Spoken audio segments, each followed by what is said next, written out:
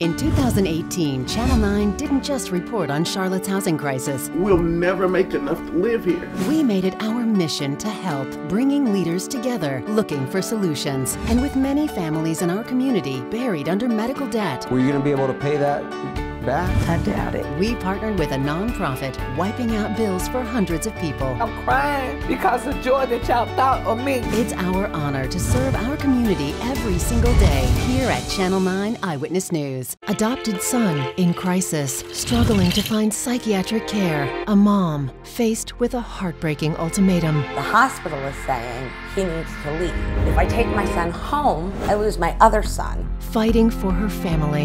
Is she fighting a broken system? Are they being treated while they're in foster care? They're supposed to be. I investigate a mental health emergency in the foster care system getting worse and the children and families left suffering. Monday at 5 on Channel 9.